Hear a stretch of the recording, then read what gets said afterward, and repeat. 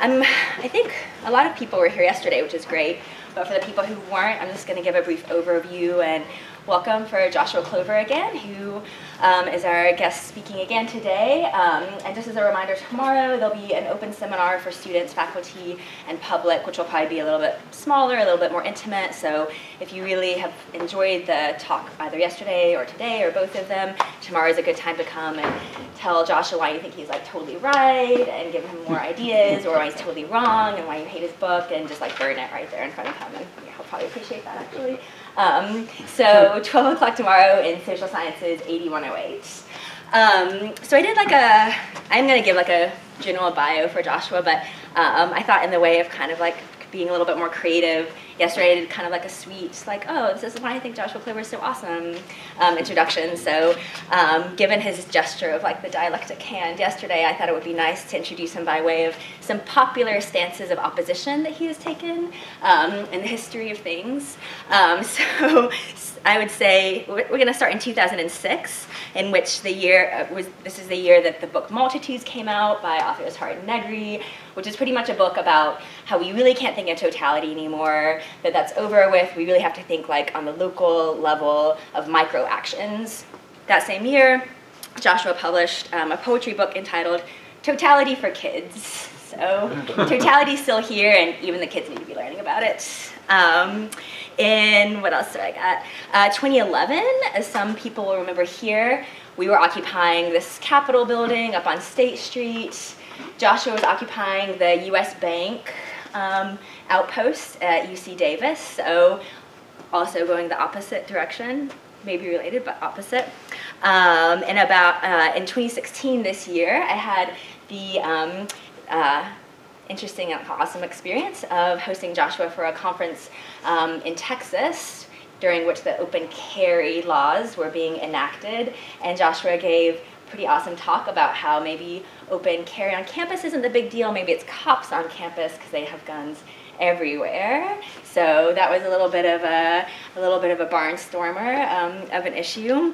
And then most recently, he's been writing about how novels aren't actually the genre that tell us the most about capitalism, even though this has kind of been a long form kind of like assessment, like we look at novels because they tell us a lot about the way that capitalism has worked since the 19th century.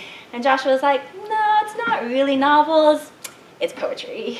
poetry is really what tells us the most about financial capital. Um, so he likes to take some oppositional stances. Um, I'm sure that will be made clear here too, but uh, that might give you a little bit of an idea of kind of a little bit of an intellectual overview for where he's come from and where he's going, which I'm sure will continue to be in opposition to things, um, but is one reason he's an enjoyable person to follow, um, both for controversy and for illumination.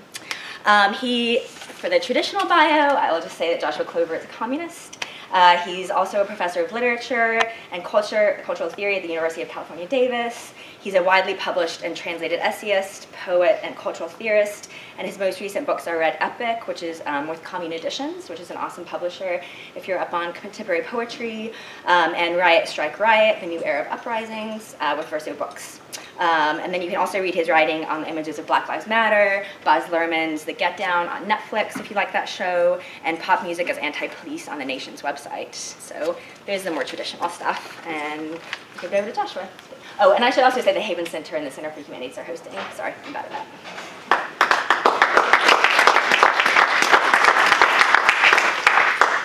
Thanks, Nora. That, I'm casting casting it that way makes it seem like there's some intellectual or political seriousness to my inclination to say no to things. I just say no to everything, and sometimes it seems more significant. Um, th thanks for the introduction, thanks again to uh, the Haven Center, the Humanities Center, the other people who've helped with this visit, and thank you all for coming. I'll say it again in case you came in late.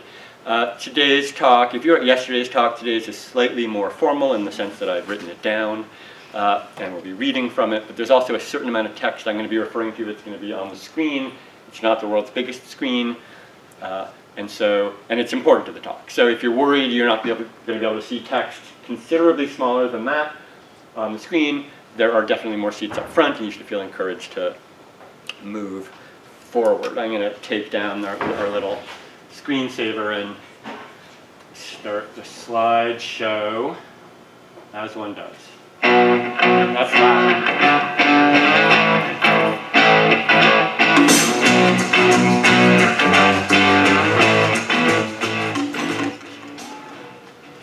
That seems better.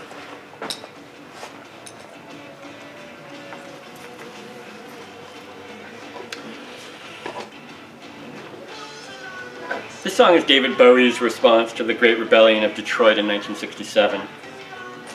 At the time, the most destructive riot in US history. Uh, that riot and one in Newark, New Jersey in the same year are at the heart of this talk, along with the Chicago riot the following spring. The complex of problems that they raise remains very much with us today and has been with us for a very long time. The complex has multiple axes, but to pull out just two of them, uh, I want to start with, on the one hand, the question of sort of the racialized domination, immiseration, and destruction and struggles around this question. Struggles which today in the US are best known under the ambiguous heading of the Black Lives Matter movement. The other axis tracks the question of the form of struggle itself, which was yesterday's topic for those of you who are, who are here. The question of what shape political antagonism can and does take. I want to suggest that these two axes, the questions of racialization and forms of struggle, align in a tense and transformative way in the 1960s. A temporary balance of forces, which is lost to us now, but whose passing provides a useful refraction on the present moment. In perhaps the most famous meditation on the opposition of determination and agency, Karl Marx wrote that, on the one hand, quote, people make their own history, but on the other hand, they do not do it as they wish, but rather within circumstances existing already, given and transmitted from the past. Uh, many of you will know that passage. It's from Marx's arguably most famous bit of historical writing, the 18th Brumaire of Louis Bonaparte. Worth mentioning because today, as it happens, is the 18th Brumaire, year 225 of the French Revolutionary calendar.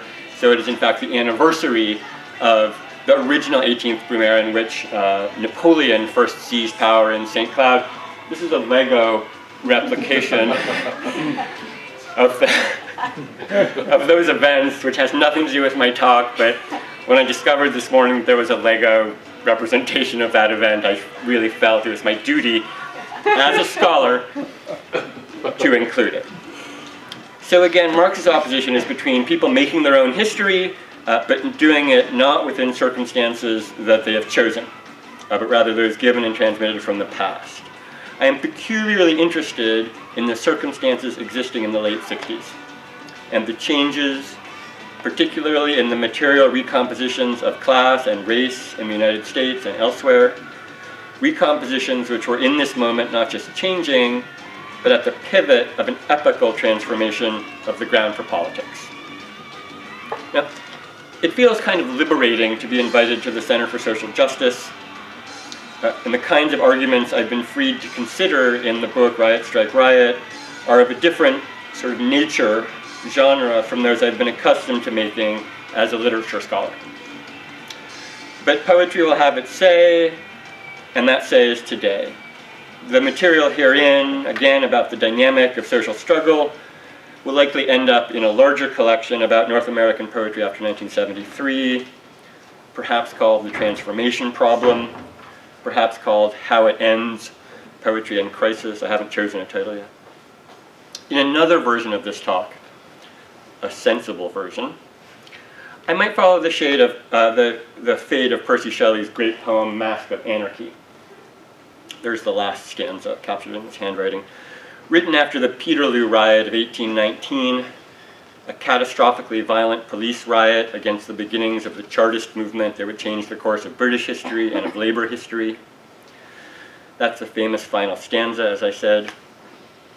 In this sensible paper, I would note how Though the poem is a poem of riot in 1819 or 1830 when it's first published, by 1911, with the ascent of the labor movement, the poem was used as an organizing tool for the International Ladies Garment Workers Union, and how a century later, the last stanza was cited repeatedly in reference to uh, student riots in London over austerity policies, culminating in the sacking of conservative headquarters. So the poem itself follows a nice sequence, riot, strike, riot, in its engagement. And if I were looking for the moment of balance, I would go to Phil Levine's poem, They Feed, They Lion, which tries to capture how Levine, a former auto worker in Detroit, sees the racial tension and immiseration of the city, especially among those expelled from southern agricultural work who have migrated to Detroit searching for steady labor that in the end cannot hold them, labor balanced against dispossession, white worker balanced against black, the tension building all the time. A poem that borrows its figure of unvanquishable rage directly from Shelley. So you can't see this passage from uh, Levine says, from bow down come rise up, come they lion from the reeds of, of shovels. And this is Shelley's last verse. Rise like lions after slumbering unvanquishable number, shake your chains to the earth like dew, which in sleep had fallen on you. Ye are many, they are few. So that would be the sensible talk. You would have been persuaded. but because I am not so interested in being sensible, or persuading you, I will instead take an approach of almost pure nonsense. I will start with analytic philosophy and use it as an allegory that is at best willful. We can expect it will be a train wreck. So this is about the trolley problem, one of the better known thought experiments in ethical philosophy. Has anyone in the room ever encountered the trolley problem? I'm curious. A couple of you have, I think. Its only real relation to today's subject is that it's from 1967. It was formulated by Philippa Foot, it's a great name, Oxford professor, and although a Brit uh, British citizen, granddaughter of Grover Cleveland, the only US president who ever served non-consecutive terms uh, Uh, here in the US. The trolley problem has also spawned a number of variations, many formal studies, and become a subject for cognitive science, neuroethics, popular psychology, and recently has figured in the debate concerning the programming of self-driving cars. It has also produced any number of internet memes, and we might wonder why 1967 has returned so dramatically in the last few years. The trolley problem is glossed uh, universally, much as it appears on its own Wikipedia page. That's what you saw before. You will see that the version provided by Foot is a bit different, but not substantively so. As it happens, I think the trolley problem provides an interesting and ambiguous meditation on order and disorder, on the balance of forces in 1967. There is the trolley coming down the street, an aspect of social life now evident as a remorseless, inhuman agent of death. There, its path, set in advance by powers not presently in evidence, but nonetheless predictable, determinate. And there is the moment when human agency enters, the opportunity to intercede via willed activity and alter the outcome. You perhaps see already my crude leap into the open air of history, wherein the trolley problem might be taken as a meditation on determinism and agency, which I hope to suggest in theoretical register of the political opposition between organization and spontaneity. Now, those are some big ticket items.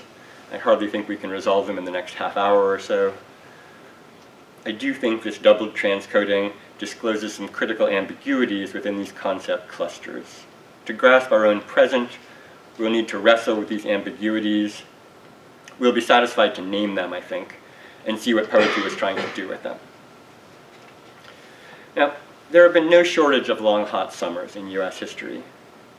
1967 featured almost 160 race riots. We discussed this yesterday a bit, how race riots is a deeply problematic term.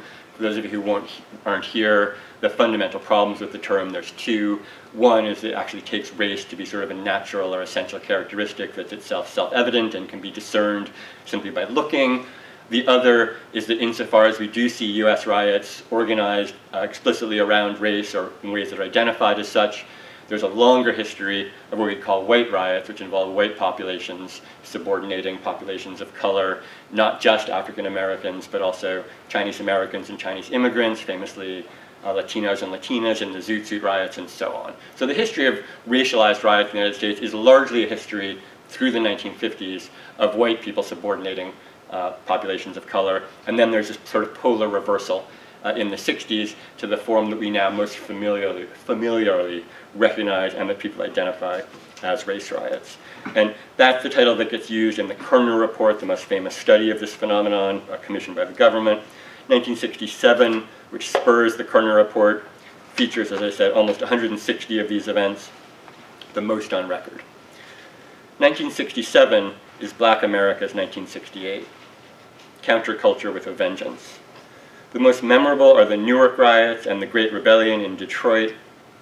They are in part remembered in a series of poems that have endured into the present, as well as many poems that have not endured so well. There is perhaps no better measure of the moment's magnetism than the fact that Maya Angelou, a compass of sorts, would feel pressed to point back at the events in Riot 60s from 1971. You will see, if you can see it all, that the poem approaches the riot by way of assembling, via a sort of free indirect discourse, a collective of racialized cliches about blackness a, a tradition we will return to.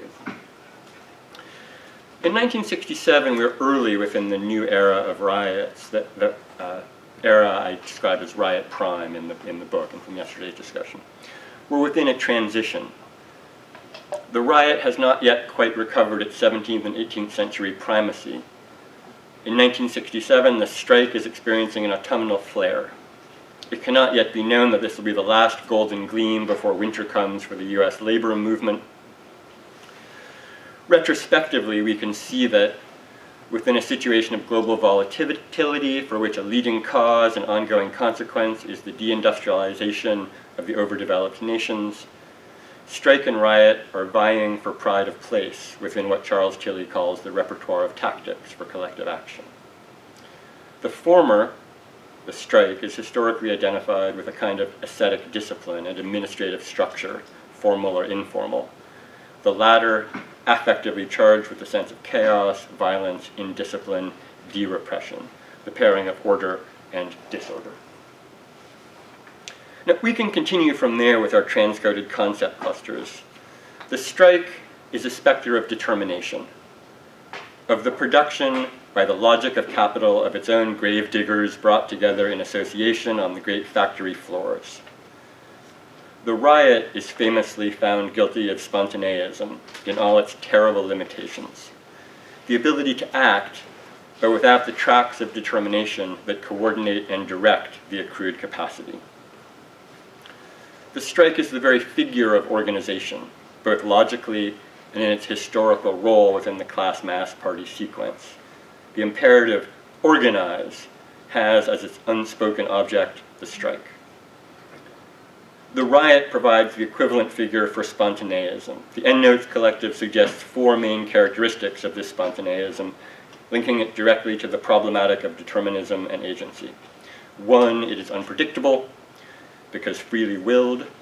Two, disruptive.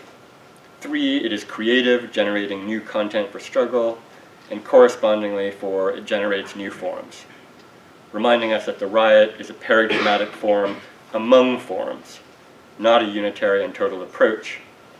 Elsewhere I describe it as a mode of circulation struggle.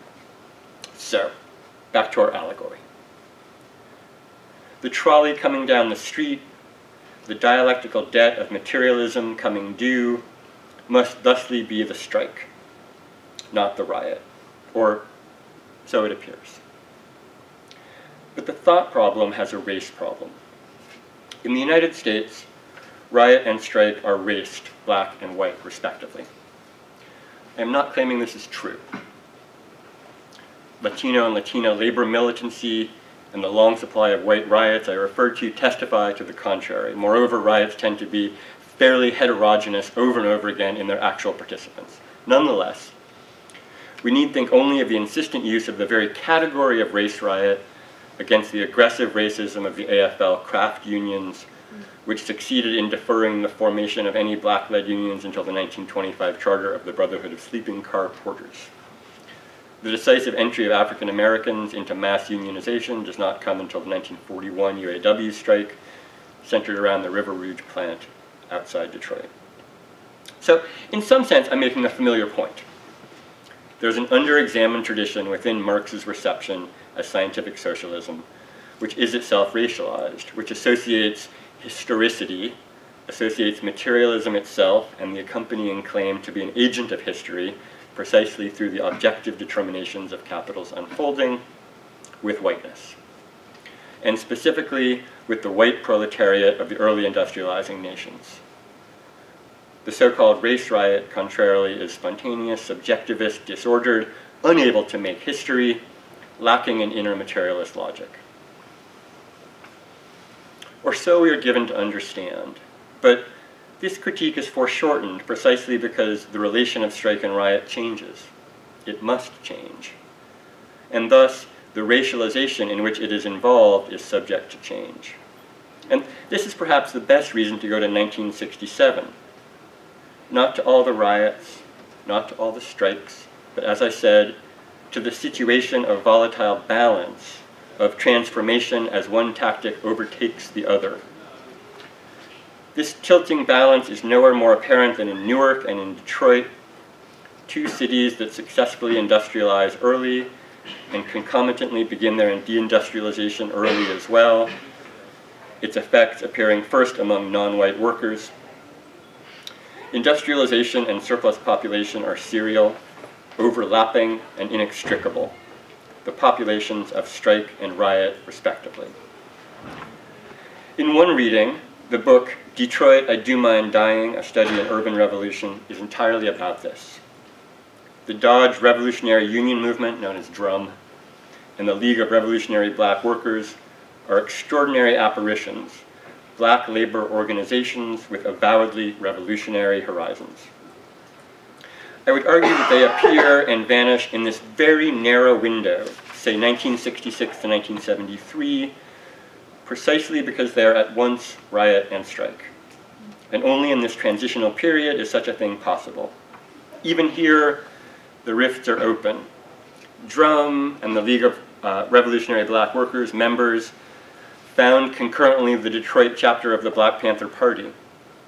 That is to say, the same revolutionary grouping endeavors to be militant labor and militant non-labor, both at once.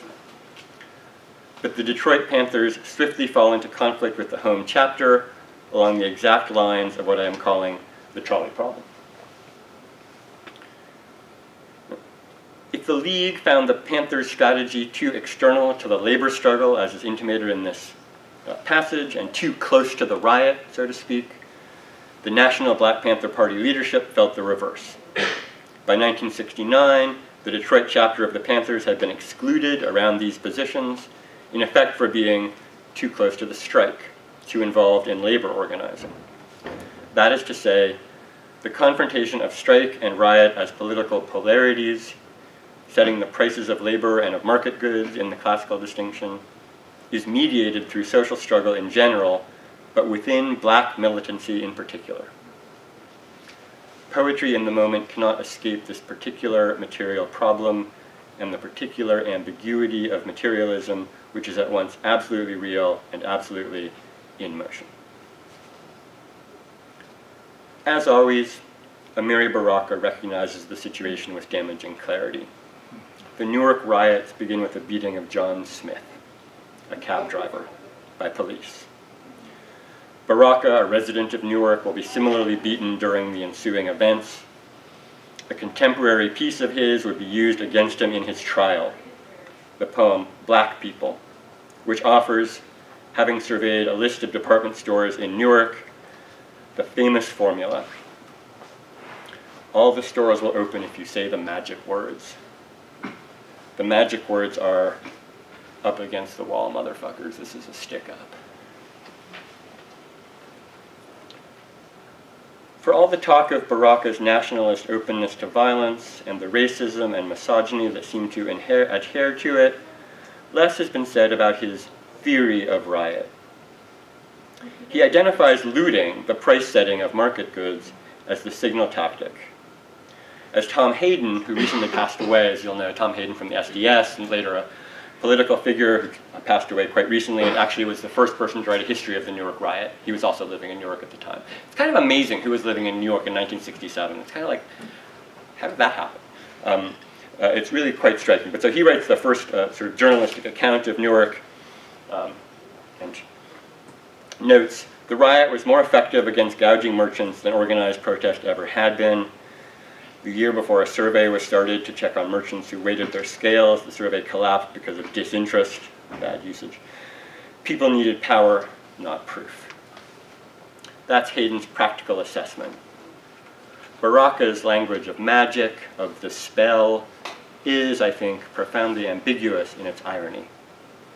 Looting, and by extension riot, are doubly identified as irrational in and of themselves and or recognizable only as unreason by a white audience. Later, Baraka will take a side. Looting may be materialistic, but it is not materialist, and it is a failure of revolutionary consciousness.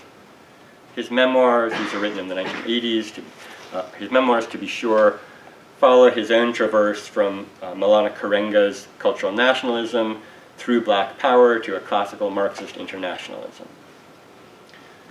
Part of what I've been arguing is that his later view is mistaken, even according to a Marxist historical materialism. That deindustrialization, implicit in the material trajectory of capital, perforce moves both the locus of capital and of growing surplus populations beyond the hidden abode of production into the noisy marketplace. And the domination of production side strategies, such as the strike, is bound to wane in that situation. By going back to 1967, I want to be attentive to the crucial step that Baraka takes. He argues that the repertoire of riot produces blackness itself. So this is back to that same poem before. People always look at the famous passage up against the wall, motherfucker. But he notes at the end, he's saying, let's make a world we want black children to grow and learn in. Do not let your children, when they grow, look you in the face, look in your face, and curse you by pitying your Thomish ways. And that's spoken to the people who would have declined to take part uh, in the riot, and identifying that as a, the, the refusal to take place in the riot as a failure of blackness itself. This surely is the sense of Black Magic, his book title, the name of the collection in which the poem appears, the magic which is the making of blackness, which is the form of struggle from which both theory and poetry, if we must distinguish between the two, must arise. That is to say, racial ascription and ascription of meaning to strikes and riots, these are conjoined activities. Ruth Wilson Gilmore, I referred to this yesterday, has provided an eloquent model of racialization uh, for the era of surplus populations. She uses the term racism in her book Golden Gulag on the management of black populations since this moment of transformation. She says, the state-sanctioned or extra-legal production of, and exploitation of group-differentiated vulnerability to premature death. That's her definition of uh, racialization. The riot is like the new prison industrial complex, a specter of this new surplus population as problem both for racialized groups and for capital itself. As Baraka suggests, riot both intensifies and inverts the double process, completing the circuit of racialization by insisting that whites must encounter this vulnerability premature, to premature death as their own. And this is the dialectical reversal of 1967. As the strike and riot swap places, the latter takes on a logic of historical necessity, of determination, through the material transformation of racialized capital and class composition. Then, when this happens, racialization must also switch. Whiteness must see itself not in the trolley coming down the street, but in the man or group of men who are in its path, one way or another. If this reversal is implicit in Baraka, it is explicit in Gwendolyn Brooks, who saw Baraka perform the poem that year and wrote her own poem, Riot, two years later. Brooks identifies her poem as a response to the riots of 1968, following the assassination of Martin Luther King Jr.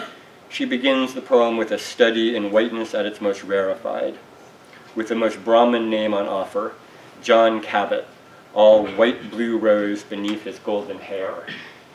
Down here, the descriptions. I know you can't read the red at all. Uh, so that's uh, all white blue rose beneath his golden hair, and here it's John Cabot, itched instantly beneath the nourished white that told him his story, told his story of glory to the world. So this sort of insistently marked extreme whiteness of, of Cabot. Now the dialectical turns come thick and fast. Riot is set in 160 cities, but it is also set in Newark, city that deindustrialized early on in the 50s, sending its industrial workers into service work, into the circulation sector, a canary in the national coal mine. John Cabot's name must be paired with John Smith. Not the Jamestown captain, but the Newark cabbie. Almost certainly a slave name. John Smith, whose beating sets off the Newark riots, who is subsequently charged in classic fashion with assaulting an officer, and who is, in a story followed nationally, convicted three days before King's murder, a largely forgotten moment of the precipitation of the 1968 riots. Now, this moment is worth reflecting on for a moment. It is increasingly significant in our own presence, present as the phenomenon of the verdict riot grows ever more prevalent. Now it most often takes the form of an officer's acquittal, which the judge or magistrate must endeavor to stage manage so as to minimize the chances of a riot breaking forth waiting to issue a finding until it's late at night, late in the news cycle, in bad weather, whatever seems most available to suppress the passions of the angry crowd. But I digress. I want to return to the poem. So there's John Cabot. So white he's almost French. There's several references that he's eating grenadine de boeuf at Maison Henri. There's a passage in French, uh, tu uh, which surely is meant to sort of hi highlight a particular kind of whiteness coded as French. I believe the word we're supposed to think of is bourgeois. Uh, so there's John Cabot, and there's John Smith, the two Johns, both outside the good old productive economy, albeit in opposite directions. There they are in a riot. But that's not quite right. It is John Smith necessarily, but in truth of uh, the text, it's the Negroes. From John Cabot's perspective, they become an it, which is blackness itself, both abstract and particular, and on ineluctable and fatal course toward him. So this is the passage where we get his inner monologue. He says, Don't let it touch me. The blackness, Lord, he whispered, to any handy angel in the sky, but in a thrilling announcement, on it drove and breathed on him and touched him. In that breath, the fume of pigfoot, chitterling, and cheap chili. And that turns out to be sort of blackness itself as an abstraction uh, approaching him. And it's not quite that they're all in a riot. The poem's great drama comes in the middle. Fred Moten has said in reference to this moment that, quote, Negroes coming down the street, as the poem says, is the constancy of riot, and poetry is a way of arranging that constancy. This is in conversation, and I'm paraphrasing, but not terribly, I hope, and I think he is largely right. In this poem, the Negroes aren't in a riot, they are the riot. But here the constancy gets strange. The riot has changed. It is coming down the street with ineluctable force, with determination, not detainable and not discreet. And John Cabot is stuck in its tracks. The riot is now the determined, the organized, by history, if not also its participants. The riot has become historical in this moment. The balance of forces has shifted. The riot is now, in 1967, the trolley. And the poem is a way of organizing this inconstancy, the exposure to these transformations. And if the dialectical racialization of the riot, raced and racially ascriptive, if this has not changed, the meaning of blackness has itself transformed in this change from not trolley to trolley, from disorder to historicity, from pure spontaneity to historical determination. One last turn before we finish. Back to the trolley problem. Back to 1967. It turns out that it is not a trolley problem. Not really. In Foot's original formulation, the trolley is the third formulation, the variation that she offers. The second concerns a crashing airplane, interestingly enough, which will be the bridge to the trolley formulation. But the first formulation should concern us. The original formulation of this famous ethical conundrum is qualitatively different. You'll discover, in fact, that the trolley problem is originally about riots.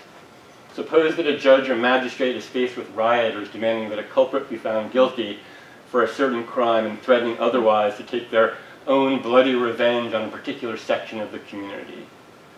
At the end, in the case of riots, the mob has five hostages, so that in both examples, the exchange is supposed to be of one man's life for the lives of five.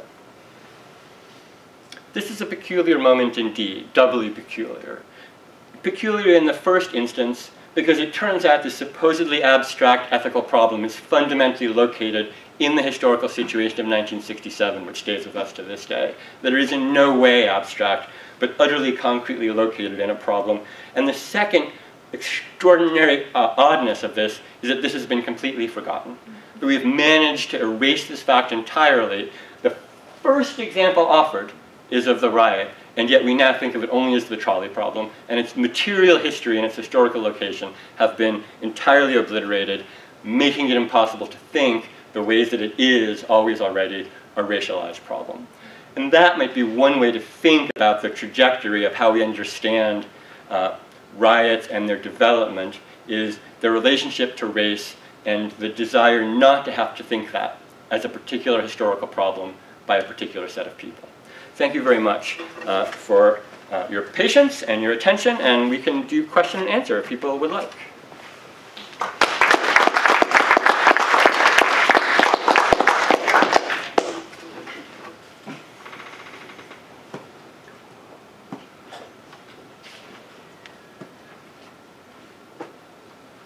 If people have questions.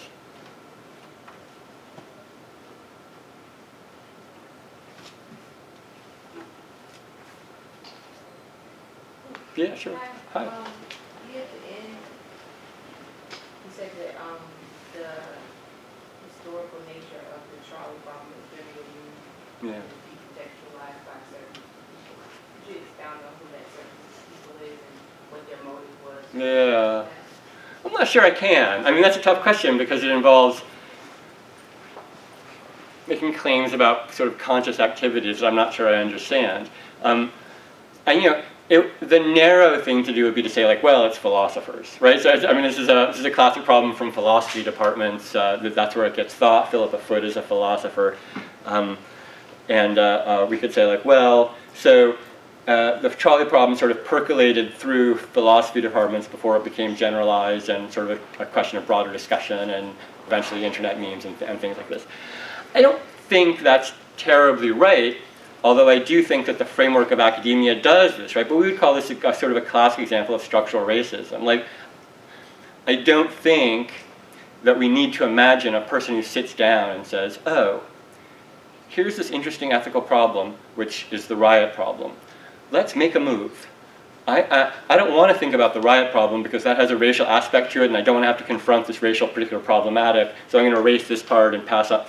So like the moment of how it happens, I don't really know, but I take that to be an expression of uh, the general structural racism that pervades not just academia, but the society around academia, uh, right? So that um, someone says like, oh, the clearest version of this is the third one with the trolley, and someone else says, yeah, I get that, it seems really clear to me, and suddenly you have this big agreement that that version seems more um, sort of pure and logical, and thus available to an abstract thought experiment that anybody can engage in.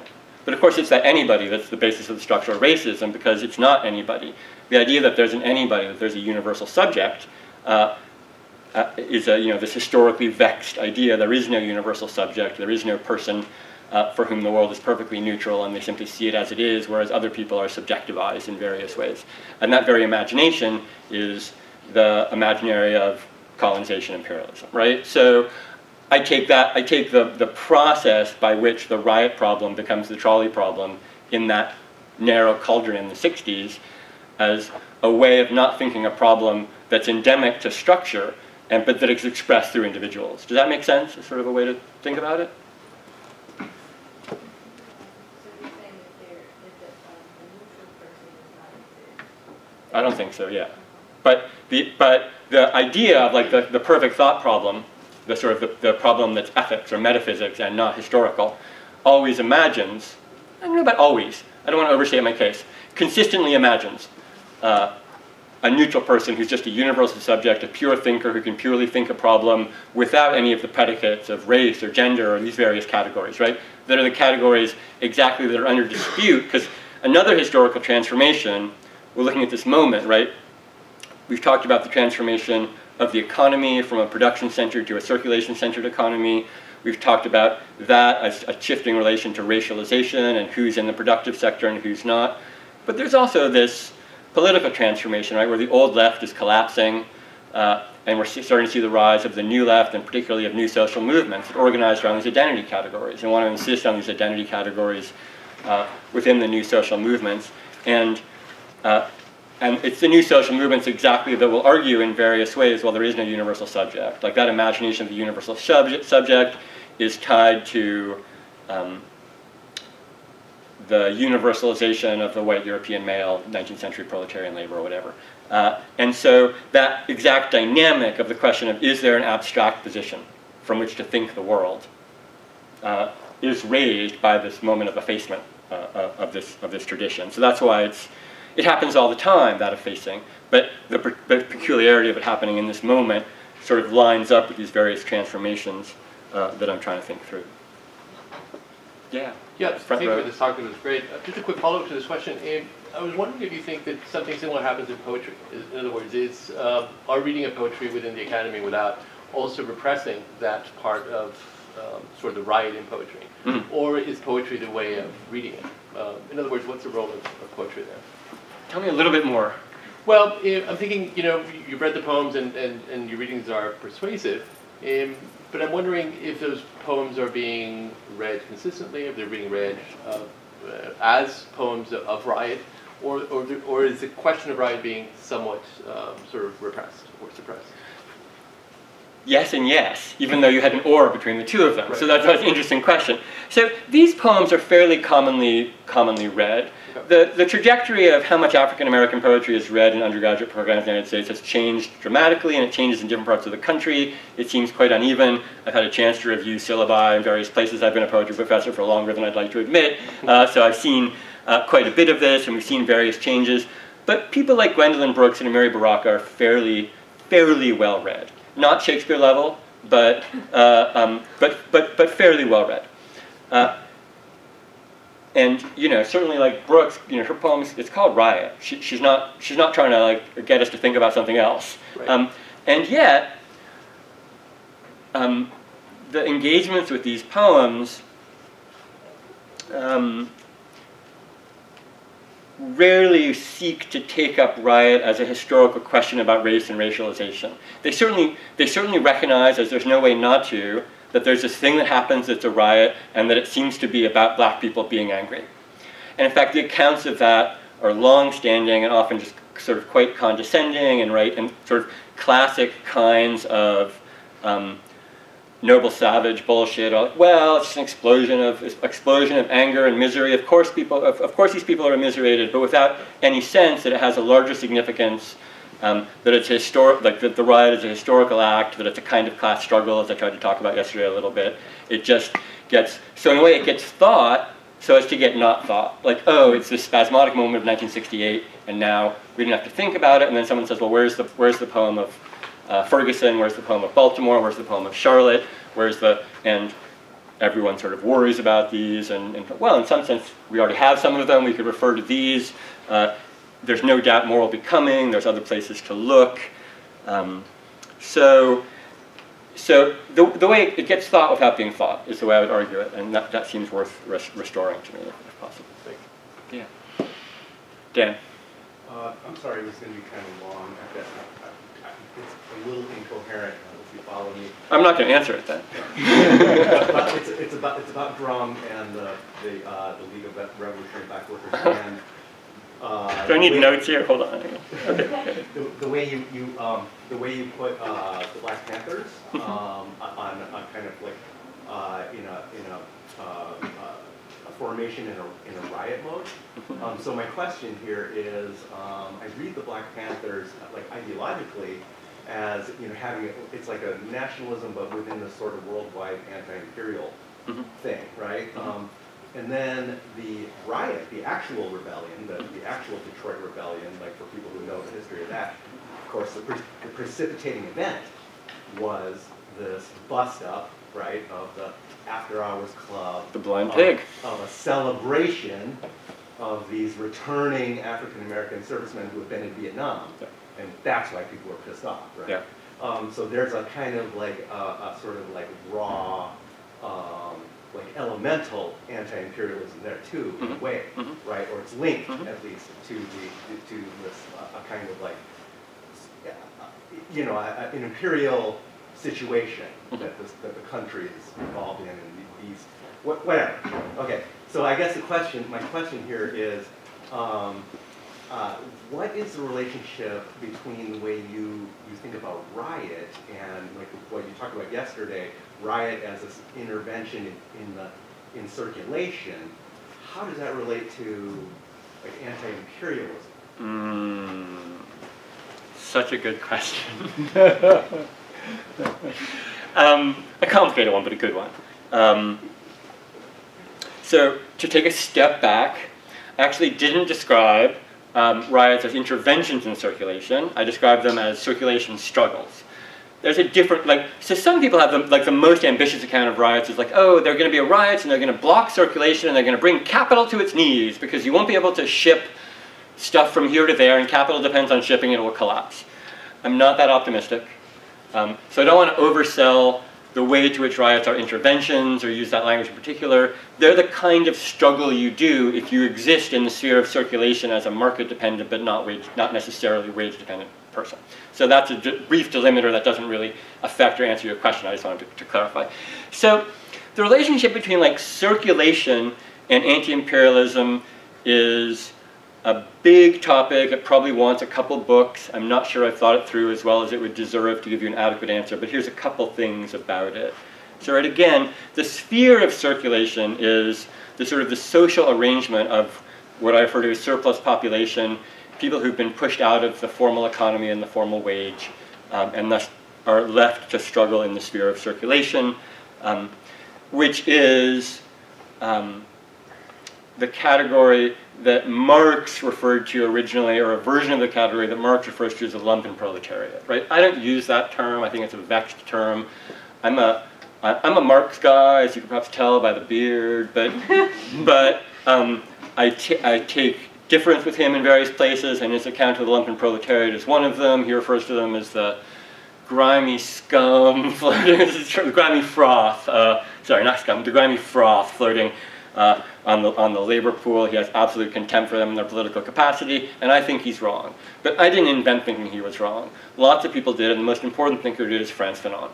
Right? Fanon in 1960 is already sort of on this identification of the lumpen as um, the revolutionary population, and he has it very much in these terms about the inability to internalize them into production. So he has this account, chapter two of Wretched of the Earth, I think, of the lumpen going from the country and colonized nations to the city and trying to get entry into the economy and not getting entry into it and circling around the city waiting for a chance in and sort of gathering up at the edge of cities. Showed you some data yesterday about poor people gathering at the edge of these mega slums in the world. It's like that's the Fanonian thesis. Um, so that identification of the lumpen who've been excluded from the formal economy as the revolutionary subject, I don't know about revolutionary subject, but certainly the subject of riot, certainly the population of riot, in Fanon's account is deeply related to the question of imperialism. It's related to the structure of these economies, right? These imperial economies which cannot absorb this labor of these uh, of Africans coming to the, to, the, to the colonial capital and trying to enter into the economy. So already we have a relationship between the question of imperialism, colonization, its structure, and the development of the category of lumpen, first as an absolute fact in its magnitude, but also as a, uh, a politically significant uh, fraction of the population. Then we make our next move, following the complicatedness of your question, to what the Black Panthers are thinking about, which is so Huey starts reading Fanon in 1965, 1966, and starts to develop, along with some other people, uh, an account of this Fanonian passage uh, in relation to what people are still calling the ghettos in the United, in the United States, um, and about the relationship between ghetto populations as internal colonization in the US and its relationship to imperialism, with the argument being that US imperialism, in fact, rests on the immiseration of um, the lumpen in US ghettos. So there's a fundamental solidarity and political tie between uh, the racialized lumpen in US ghettos and the colonial lumpen that Fanon is writing about. So that's their whole account. Um, and I think that starts to give us a set of the chain of relationships between the inability of the economy to internalize people to the wage at a global and local level, and then a colonial international lumpen and a local lumpen in these uh, communities that the Black Panthers are interested in, of which Detroit is a, is a uh, extreme example uh, because of, its, of the intensity of its deindustrialization, its production of a huge lumpen population very quickly between 1960 and 1967. Um, so I think that's the set of relations that you're asking after. That said, I want to be clear. I put the, uh, I put the Panthers on the side of riot. But that involves a couple of transfers. The Panthers themselves did not advocate riot. If you read through the Black Panther newspaper, it's full run, which is worth doing, can be hard to do. It's sort of shocking to me this doesn't exist in the world. You can't just walk and buy a, a book that's a compilation of all the issues of Black Panther, or at least the ones from uh, the first 10-point program through 71 or 72 when they're still a fairly vibrant organization. Uh, but you can't, right? So I went to the archives and, and looked at them. They're not opposed to riots, but they see riots, in the, the essays they write, they're, they're, unsigned, they're almost surely by Eldridge Cleaver. Um, after the, these riots in 67 and 68, they're like, riot, but move on toward kind of, kinds of organization. But their organization is incredibly minimal. They say groups of three, and then they sort of a, somewhat Maoist, right? But it's a groups of three, and then there's a, this great uh, illustration of a group of three sort of panther-dressed youth, um, one operating as lookout, one um, out in the street, and one with a gun around the corner, and sort of recommending that as a kind of, and, and that's not quite the riot, right? It is a recognition that the space of struggle is not going to be organized labor, and that's the opposition that I want to bring into uh, fine detail, that it's going to be a different kind of insurrectionary activity that doesn't happen through labor struggles, but through, but in, in the street, right? The street, which is the space of riot, if not the riot itself. So I put them unevenly on the side of riot in my pairing, uh, but I want to be clear that it's not like um, Huey and Eldridge and Bobby Seale were like sitting around going like everyone should riot, because they, they weren't. Um, does that start to answer your yeah. question? Yeah. Sorry, it was a long question. long answer. Yeah, hi. Hi. Are you, I, I feel like I caused you to be grumpy yesterday. Any, No, no, not Things a little better? All right, okay. I just wanted to be a contrarian. Oh, well, we love contrarians here.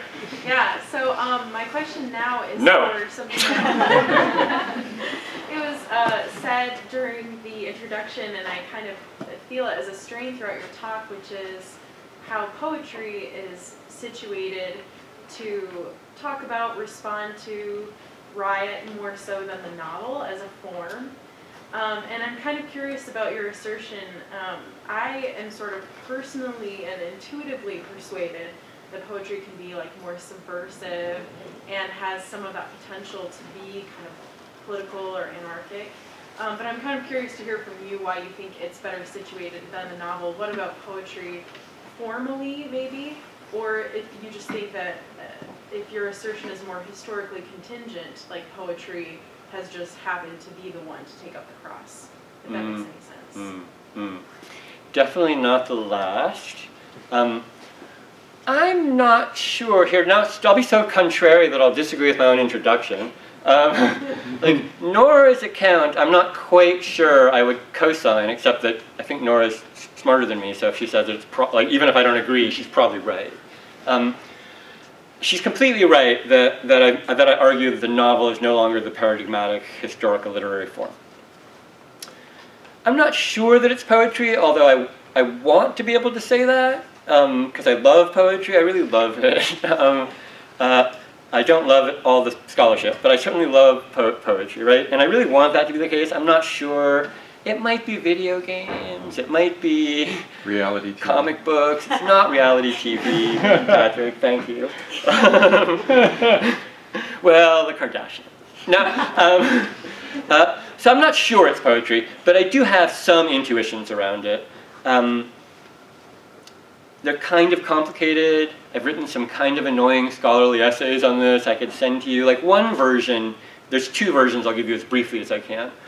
One is that I think the, the maybe there's three. Um, one is that the restructuring of the global economy has happened along both spatial and temporal lines. So spatial lines you can think of like supply chains.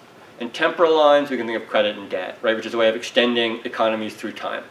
Where like I give you space now, I sell you a house, and you give me money, you give me your labor in 20 years, and for the next 20 years, right? So it's a kind of shifting in space and time. And I tend to think that poetry is a little better formally to handle the intersection of space and time than novels are. Right? Novels are extremely temporal. They're like the transformation of consciousness over time. Right? They're extremely temporal. Whereas poetry has all this like spatial moves on the page, and it's actually it's part of how it communicates that like this is here and this is there. Right? So it has a little bit more of a communication vested in its spatialization. Uh, and so that's maybe one way to think about it. Another way to think about it is that the novel, and this is, goes straight to like Lukács and like sort of standard theory of the novel in the 20th century, the novel, he describes as being about the reconciliation of the problematic individual to the social whole. Like he says that's the paradigmatic mode of the novel. And I read that as being a story about being able to internalize people into the dominant social structure, which I read to be a fundamentally political economic claim about capital's ability to internalize people. So you're born free, but you have to be productive by the time you're 17, right? And capital has to be able to internalize you um, and give you a job. And like you can run wild and have your rumspringa, but eventually you're going to end up in the factory, right? And that's the, or in the office building or wherever it is. And that's the internalization to, to, uh, to the logic of the economy on which the novel is premised. Uh, and that internalization, I argue, is no longer possible, right? Capitalism now expels people. It, it, fewer and fewer people out of the global population are actually part of the productive economy. Um, and the capacity for it to internalize new labor inputs is diminishing or gone. So that's another reason. But then the third, and this might be the simplest, easiest, most effectively powerful answer is, and but also the most prejudiced one. This is where I just come out on the side of poetry. Like, I actually believe that poetry has a better tradition of making demands on on um, radicality than the novel does, and I don't mean political radicality. I mean radicality in the sense of like radix, the root, right, of, of, making absolute demands. Like I think it's no coincidence that Saint-Just, after the uh, French Revolution, says, uh, you know, who makes a revolution by halves digs his own grave, right? That's poetry talking. Like poetry that takes itself seriously goes all the way. It doesn't go half the way. Uh, whereas novels, in part because of the way they're marketized and various other reasons, very often do go halfway. And so I like to think that poetry has a spirit of like uh, radicalization that's part of its internal logic. Of course, I read so many poems that don't feel that way to me, and then I feel bad. But these are my most these are these are my most optimistic accounts. I want to read Baraka, I believe it. You know. Well, and if I can ask a really quick follow up, um, more just about sort of the title of this presentation, because um, I guess when I heard the poetics of riot, I was thinking of poetics uh, in the very academic way of like kind of world making or the grammar sort of of riot. And what I heard you talk about was more like the poetry of riot. Did you want to comment on that at all? On if you, on if I maybe Oh. in my assessment there, or These are such fascinating questions. Um,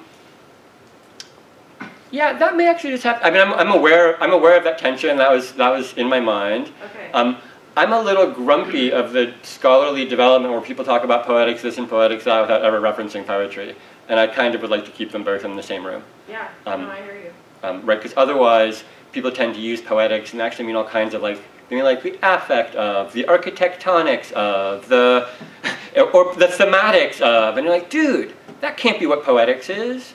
Um, and maybe if we shoot a little closer to poetry, what poetry is and what it does, we'd hold on to a coherent sense of the, of the term. Thank you. Yeah, hi. Hi, I'm just interested in your reading of the Boba Fett original premise as um, a riot and not lynch mob. And I wonder if that's just about the time period and the word riot used there, or how that would shift sort of the thinking about racialization and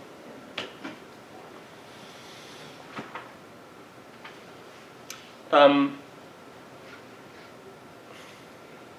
I'm not sure I can totally make sense of your question. Which is to say, I mean, on the one on the one hand, um,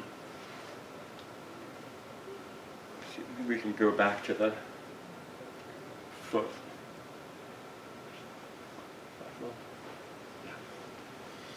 Um, on the one hand, yeah, the difference, the, the, the distinction between a riot and a lynch mob is an interesting one, right? I, th I, think it asks us to think about things like the difference between freedom fighters and terrorists, Right. um, and and sort of uh, what you identify as sort of on who, who, what side you're on or what your social position is. But the main thing I would say is she uses the word riots, right? Like she used, like it's not me who says riots, it's it's her, and she certainly had that language available to her. So, um, I mean, her uh, grandfather was Grover Cleveland, who oversaw um, as president uh, a great uh, number of lynchings in the United States between 1896 to uh, 1900 and then 1904 1908.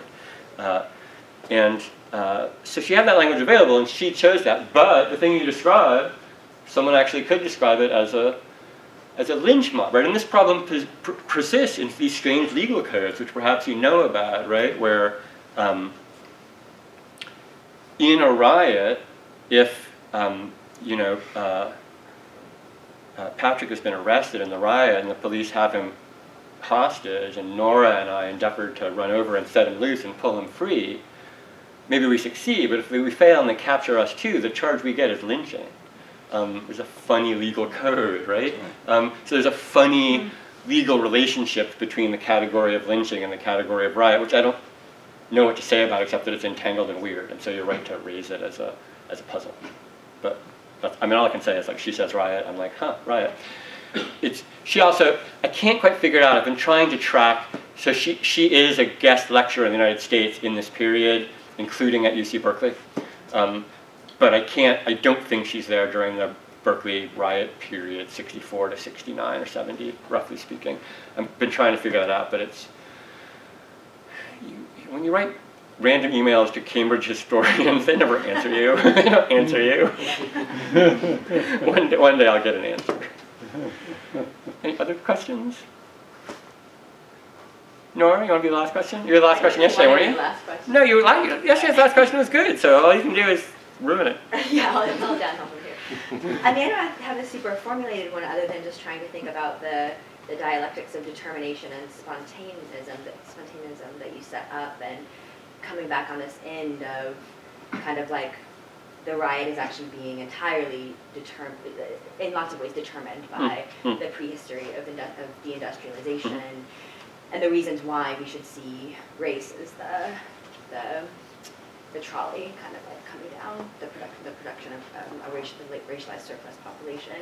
Um, but then I'm also think, I was just also thinking about like the really long history on both the right and the left of thinking about the riot as spontaneous in a way that can get coded really conservatively, which is like, oh, there's no thinking there, there's no thought there, but in a way that seems also like it has like a utopianism to it, like what if this could just turn everything around? Like what if there there's almost a kind of mess messianism or something to a kind of um, investment in spontaneity? I You mean like the idea that the spontaneity, so the reason, I'm, I'm sort of going to try and re-say what I think you're saying, and I might get it wrong, and I, I, um, but, so the idea, on the one hand, from the, from the conservative position, the riots, uh, or maybe from any position, like the, the riot spontaneity is a problem, not just because it's out of control and thus threatening to um, the bourgeois subject, but because it lacks a historical logic and determination and thus lacks force. That's my case that I make, right?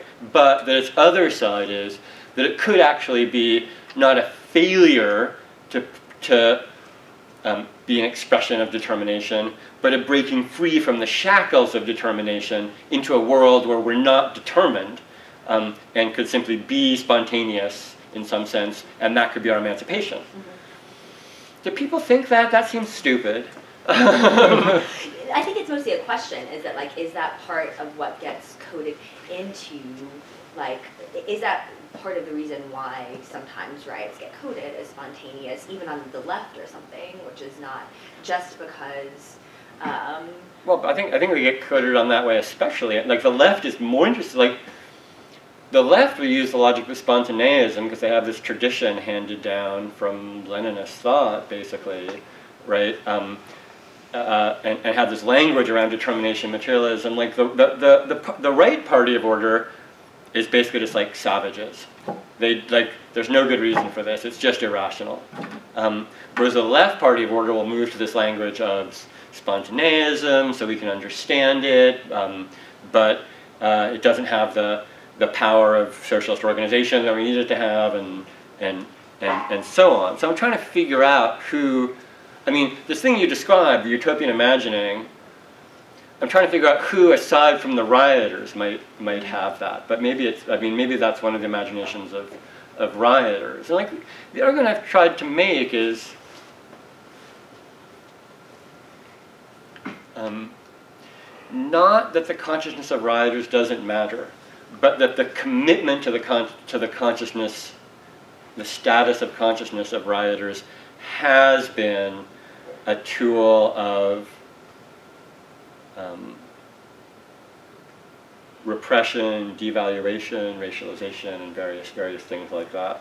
To say like, oh, um, the classic sequence of like, oh, this person looted a flat screen TV. It's always a flat screen TV, right? In, in, the, in the example that proves people are irresponsible, like whether it's rioters in Ferguson or um, in, like impoverished people in Greece who like bought flat screen TVs on credit. For some reason, it's always a flat screen TV. Someone needs to write that essay, why it has to be a flat screen TV that proves to us that people are irresponsible.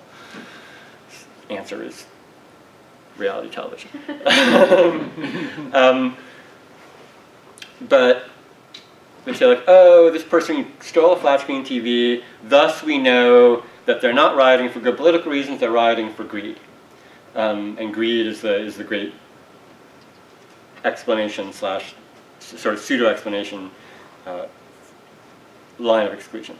So I'm trying. I'm not trying to get to this idea of like um, that I think is true about consciousness, but I, I don't want to have to rely on. Like my friend Tyler says um, about riots, that the experience of being ungovernable is a transformative experience. And I think that's mm-hmm. true. I don't know if anyone here has ever been in a riot. I assume we would all deny it, but but I, I recognize when he says that, like I had a pang of recognition for me.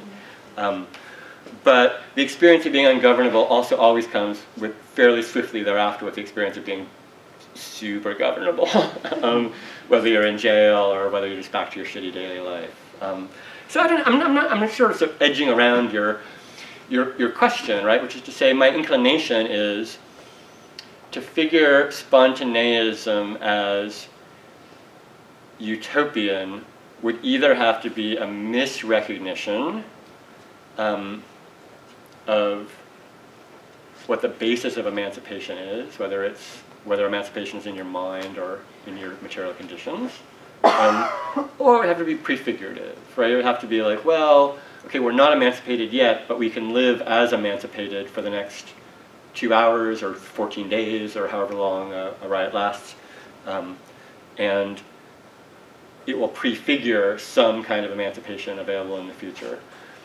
I am leery about prefigurative politics, and I think we might differ on this. Like, I'm very leery about the virtue of, of, of prefiguration. Um, you know, I think back to Occupy, right? That was a lot of discussion around prefiguration of like, oh, we're all living in these camps, but it's we're prefiguring the society to come. We're having like free giving. It's not a cash economy, and um, and it was kind of first of all, it just didn't strike me as true. that those those encampments depended wildly on lots of people having jobs and bringing in cash and buying stuff and, and so on. But also, those camps, and like I was in one and I loved it, but they were shitty.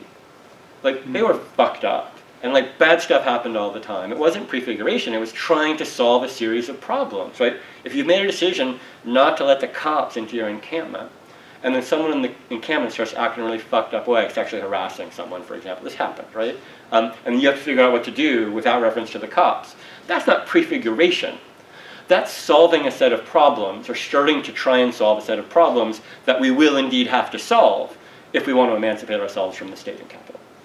And so in that sense, it's practice. But practice and prefiguration are not the same thing. And I'd like to hold on to that distinction. I don't know where that gets us, uh, but that's where I'd sort of like to leave it. Thank you all so much for uh, uh, your attention.